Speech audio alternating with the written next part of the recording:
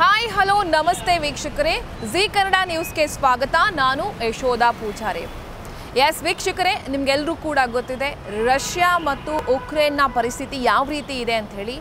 ಒಂದು ಕಡೆ ರಷ್ಯಾ ತನ್ನ ಹಠವನ್ನು ಬಿಡದೆ ತಾನು ಮಾಡಿದ್ದೇ ಸರಿ ಅನ್ನೋ ರೀತಿಯಲ್ಲಿ ವರ್ತನೆಯನ್ನು ಮಾಡ್ತಾ ಇದೆ.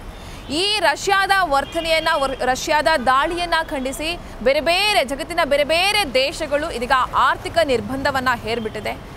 ಅಮೇರಿಕ ಇದು ಇದೀಗ ಒಂದು ಮಾಸ್ಟರ್ ಪ್ಲ್ಯಾನನ್ನು ಮಾಡ್ಕೊಂಡ್ಬಿಟ್ಟಿದೆ. ಅಮೇರಿಕದ ಬಾರ್ ಮಾಲೀಕರು ರಷ್ಯಾವನ್ನ ಹೆದರಿಸಲು ಒಂದು ಮಾಸ್ಟರ್ ಪ್ಲ್ಯಾನನ್ನು ಮಾಡ್ಕೊಂಡಿದ್ದಾರೆ. ಹಾಗಾದ್ರೆ ಏನದು ಅನ್ನೋದಕ್ಕೆ ಸಂಬಂಧಪಟ್ಟಂತ ಮಾಹಿತಿಯನ್ನ ಕೊಡ್ತಾ ಹೋಗ್ತೀವಿ.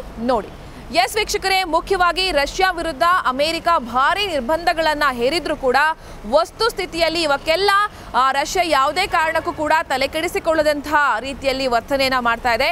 ಆದರೆ ರಷ್ಯಾವನ್ನ ಹೆದರಿಸಲು ಅಮೆರಿಕದ ಬಾರ್ ಮಾಲೀಕರು ಹೊಸತೊಂದು ಮಾರ್ಗವನ್ನ ಕಂಡುಕೊಂಡಿದ್ದಾರೆ. ಅದೇನಪ್ಪ ಅಂತ ಹೇಳಿದ್ರೆ, ಮಿಚಿಂಗ್ನಲ್ಲಿನ ಬಾರ್ ಮಾಲೀಕ ಬಾಬ್ಕ್ವೆ ತನ್ನ ಬಾರ್ನಲ್ಲಿರುವಂತಹ ಶೆಲ್ಫ್ಗಳಿಂದ ರಷ್ಯಾದ ವೋಡ್ಕಾವನ್ನು ಹೊರಗೆ ಹಾಕ್ಬಿಟ್ಟಿದ್ದಾರೆ. ಅದರ ಬದಲು ಉಕ್ರೇನಿನ ವೆಕ್ಟರ್ ಅನ್ನ ಇಟ್ಟಿದ್ದಾರೆ.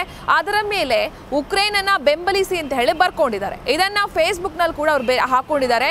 ಇದರಿಂದ ಉತ್ತೇಜಕರಾಗಿರುವಂತಹ ಉತ್ತೇಜಿತರಾಗಿರುವಂತಹ ಸಾವಿರಾರು ಮಂದಿ ಬಾರ್ಗಳಲ್ಲಿ ವೆಕ್ಟರ್ಗಾಗಿ ಕೇಳ್ತಾ ಇದ್ದಾರೆ. ವೋಡ್ಕಾವನ್ನ ನಿರಾಕರಿಸ್ತಾ ಇದ್ದಾರೆ. ಸ್ಟೋಲಿ ಎನ್ನುವ ಇನ್ನೊಂದು ಬ್ರ್ಯಾಂಡ್ಗೆ ರಷ್ಯಾ ಮೂಲದ ವ್ಯಕ್ತಿಯೊಬ್ಬರು ವ್ಯಕ್ತಿಯೊಬ್ಬರು ಇದರ ಮಾಲೀಕರು ಕೂಡ ಹೌದು. ಆದರೆ ಸ್ಟೋಲಿ ತಯಾರಾಗೋದು ಲಾಟ್ವಿಯಾದಲ್ಲಿ. ಹಾಗಿದ್ರೂ ಸ್ಟೋಲಿ ಉಕ್ರೇನ್ ಅನ್ನ ಬೆಂಬಲಿಸಲು ಯುರೋಪ್ನಲ್ಲಿ ಶಾಂತಿ ಕಾಪಾಡಿಕೊಳ್ಳಲು ಕರೆ ನೀಡಿದೆ. ಅಮೆರಿಕದ ಹಲವು ಕಡೆ ಹೀಗೊಂದು ಹೊಸ ಪ್ರಯೋಗ ಇದೀಗ ಶುರುವಾಗಿರುವಂಥದ್ದು. ಅಂದರೆ ಹೇಗಾದರೂ ಮಾಡಿ ರಷ್ಯಾವನ್ನು ಹೆದರಿಸಬೇಕು ಅಂತ ಹೇಳಿ ಜಗತ್ತಿನ ಬೇರೆ ಬೇರೆ ದೇಶಗಳು ತನ್ನಲ್ಲ ಕೈಯಲ್ಲಾದಂತಹ ರೀತಿಯಲ್ಲಿ ಪ್ರಯತ್ನವನ್ನು ಮಾಡ್ತಾ ಇದೆ.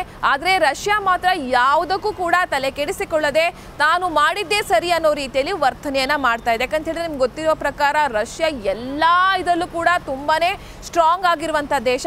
ಯಾರು ಎಷ್ಟೇ ಆರ್ಥಿಕತೆಯ ನಿರ್ಬಂಧವನ್ನ ಹೇರಿದ್ರು ಕೂಡ ಡೋಂಟ್ ಕೇರ್ ಅನ್ನೋ ರೀತಿಯಲ್ಲಿ ವರ್ತನೆಯನ್ನ ಮಾಡ್ತಾ ಇದೆ. ನೋಡ್ತಾ ಇರಿ ಜಿ ಕನ್ನಡ ನ್ಯೂಸ್ ಸತ್ಯವೇ ಸುದ್ದಿಯ ಜೀವಾಳ.